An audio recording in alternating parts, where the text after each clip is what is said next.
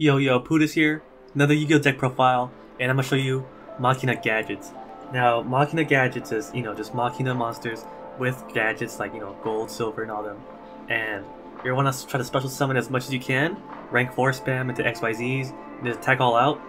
And this deck's super basic, mid-tier I consider it, and great for like beginner players to play too, because all you do is just add, special summon a bunch, attack all out, and see what happens. And this deck's super cool too because machines are very versatile, a lot of support. You can play them ham, or you can play them safe with like spells and traps that destroy a lot of stuff. So let's get started. We play 3, Machina Fortress. He's like, you know, the big boy of the deck.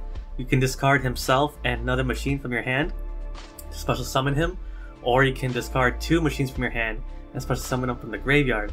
And if he's destroyed by battle, destroy one card your opponent controls. And if he's targeted by a monster effect, then you discard one card from your opponent's hand. So, and then we play three Cyber Dragons, standard, easy monster, um, bust them out for free, machine, and you can contact fusion with your opponent's monsters for Chimera Tech Fortress Dragon. And then we play two Machina Gear Frame.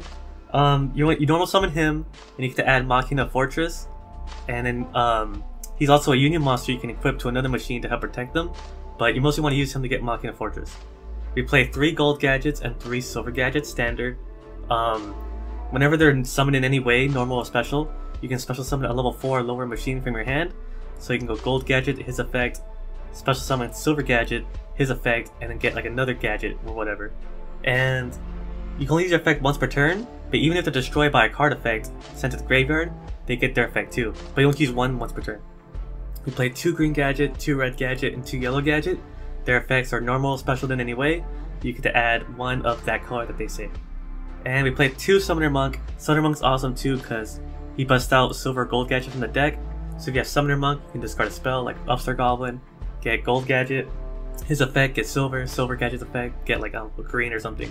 And that's four level 4 monsters on the field. And you can make a lot of overlay plays for days for that, so. And we played one Maxi. Maxi's awesome, you know, draw power. Your opponent special summons a bunch, can draw a lot of cards. Raigeki, you just don't give a fuck, slap it down, just nuke the field your opponent has all his monsters. You play three double summons. You get one additional summon that turn, and you can't. If you play multiple, you can't um, get extra normal summons. You only get you can only get one additional normal summon, and it's really great because you know you normal summon, get use effects, play double summon, get another surge, all that. You get more materials, and we play reasoning because we have multiple levels in here. You got like you know, three, four, five, and like eight. So even if they call it right with 4, it's okay because you can use Iron Call to get a monster from the graveyard. If you control a machine, you get a machine from the graveyard, special summon it to the field, so if you have a yellow on the field, you can use Iron Call to get green gadget, uh, red gadget on the field. And their effects are negated, but it doesn't really matter, you just want to use Iron Call to get another XYZ play. We play Upstart Goblin Draw Power. Limit removal is super awesome because if you have a bunch of machines on the field, it doubles all their attack and you can attack all out. And let's say your opponent doesn't die that turn, you can overlay main phase 2 and you know make a super boss monster and that monster won't die. We play two Twin Twisters, super good card, destroy a bunch of back row so you can tag all out. And it's okay that you discard a card because you can use, you can discard like, I don't know, Silver Gadget or like Green Gadget and call the haunt of that monster next turn or that turn to make another overlay play. So discarding, you can use it to your advantage if you want. Um, we play 3 Solemn Strike because Solemn Strike is super broken negate a monster's effects. You know, if your opponent has Crystal Wing, you gotta get rid of that. And we play one Solemn Warning. And Warning's broken, it stops normal summons, so it's at one for a reason. Now time for the Extra deck. We play Chimera Tech Fortress Dragon because you have Cyber Dragon, and if your opponent has machines, you can use Cyber Dragon to contact fusion with your opponent's monsters, special special summon him. We play Divine Dragon Knight Felgrand, just in case you have two Machina Fortresses on field. He's super awesome, can protect himself and negate a monster effect or anybody um, Utopia the Lightning, because we have the Utopia Barrage, and the Lightning just wins games, gets over everything. Constellar Pleiades, board control, super powerful, bounces monsters. You know, Prime is for the Lightning, more more material for him. Play St uh, Stellar Knight Delteros, because you can go Summoner Monk, get you know Silver Gadget, Gold, Red, Green, and get multiple uh, monsters in the field. So if you have three level 4 monsters, you get him out and he's the boss. Um, we play two Gear Gigant X, because we have a lot of machines obviously, and if you have two machines, you're going to want to detach one and add like Machina Fortress or gold or silver and set up a play for next turn. We, have, we play 101 to get rid of problematic cards, 2 Castels for problematic Floodgates, Gaga Samurai for 2 attacks, and he can protect the monster too, but mostly for OTK. If you're going first, you cause him a Giant Hand, he negates the monster effect, so he helps more more control of the board. And Dweller, you st can stop monster effects in Graveyard from your, for your opponent, and more board control. And now let's talk about honorable mentions.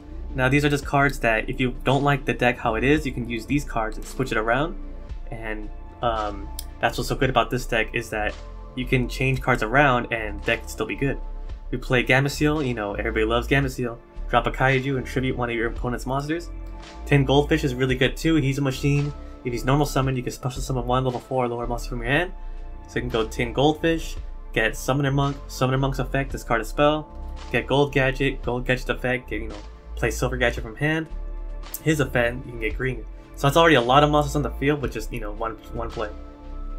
Jinzo super good too, because you can he's a machine, you can use it with limit removal. And if you uh he negates all traps on the field. And he just wrecks people that play a lot of trap cards. We play Pod Desires if you want um, to get more draw power and consistency, more resources. Dark Hole if you want to destroy my cards in the field. Malevolent Catastrophe, um, if your opponent attacks one of your monsters, you can destroy all spell and trap cards on the field. Uh, Mirror Force to protect monsters.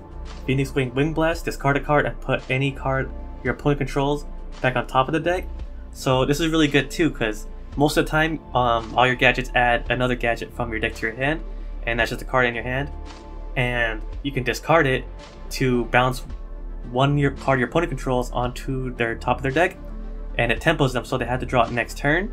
And then if you have a monster discarded to the graveyard, you can use Call the Haunted to bring it back. So it's basically a two for one. Dimensional Barrier is also very broken too, because it stops XYZ, synchros, fusions, and all that stuff in case their effects. And last is Book of Moon. And Book of Moon is good too because it's a spell, you can use it for Of Summoner Monk. And if your opponent has two monsters, they're going to try to do like an XYZ play or a Synchro play. And you could just Book of Moon one and put it face down so they can't XYZ or Synchro. So yeah, that's the deck everybody. Let me know how you like it. This is Pootis, signing out.